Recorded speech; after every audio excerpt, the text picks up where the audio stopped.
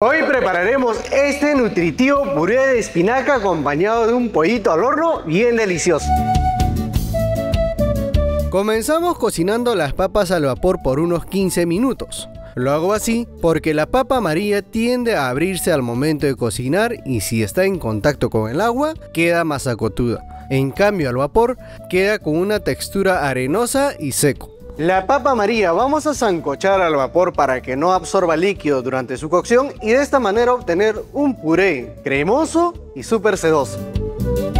Para el pollo a la olla, ya tengo las presas de pollo troceadas y previamente lavadas.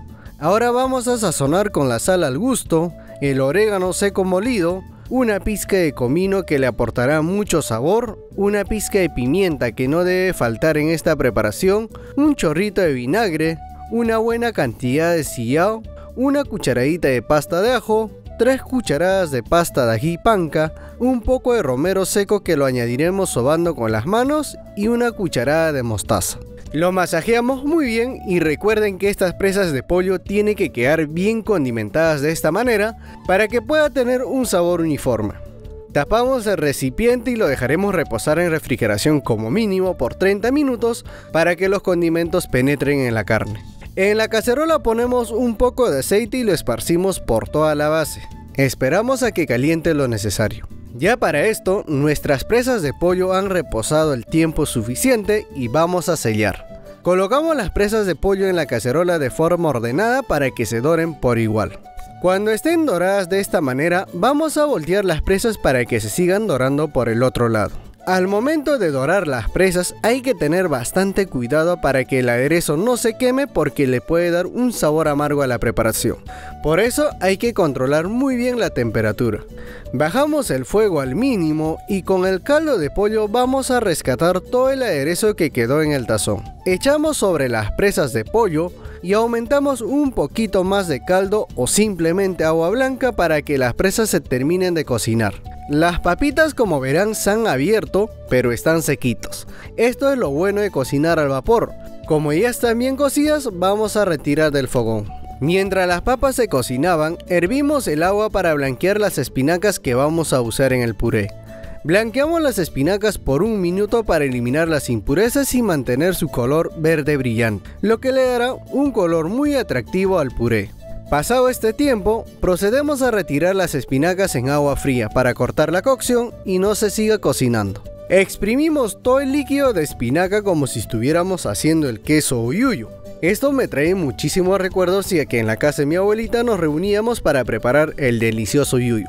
Aprovechando esto, si ustedes lo desean podríamos preparar el yuyo, solo déjenme su respuesta en los comentarios.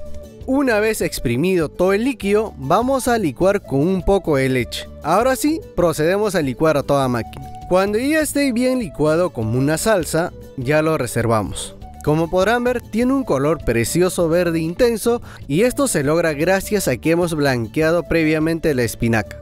El pollito a la olla también se ve delicioso, el juguito está ligeramente espesito como tiene que ser.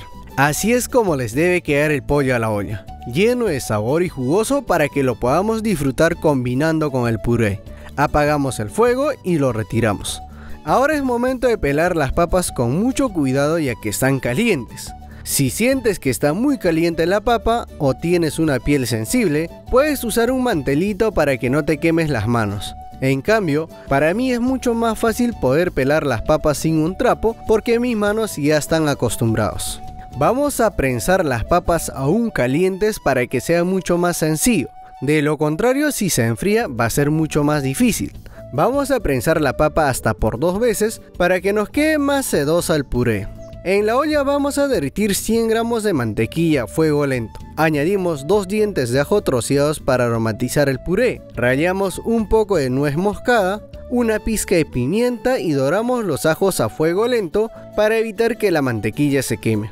Cuando el ajo ya esté dorado, añadiremos la leche y dejamos que infusione por 5 minutos a fuego lento sin que llegue a hervir. Recuerden que el puré es a base de papa y por lo tanto esta leche será la encargada de darle todo el sabor al puré y por eso les recomiendo aromatizar para que el puré nos quede bien delicioso.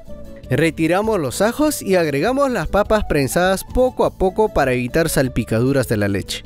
Procedemos a mezclar despacio agregando la leche poco a poco para que sea mucho más sencillo de integrar. Cuando ya tengamos esta textura vamos a agregar la espinaca que hemos licuado. Lo que nos ha quedado en la jarra de la licuadora vamos a rescatar con un poco de leche. A muchos no les gusta el puré de espinaca por el color que tiene y su sabor, pero si llegan a prepararlo de esta manera como les estoy enseñando, seguro que les va a encantar. Eso no lo digo yo porque lo estoy preparando, sino porque muchos que llegaron a probar mi puré de espinaca me lo han dicho. Cuando ya tengamos la textura deseada, le añadiremos la sal al gusto. Recuerden que hasta el momento no le habíamos echado nada de sal y en este momento corregimos la sazón. Al final es así como nos queda un delicioso y nutritivo puré de espinaca bien sedoso y con mucho sabor. Servimos el puré acompañado con el arroz, pero si deseas puedes obviarlo. El pollo a la olla encima y su juguito como tiene que ser.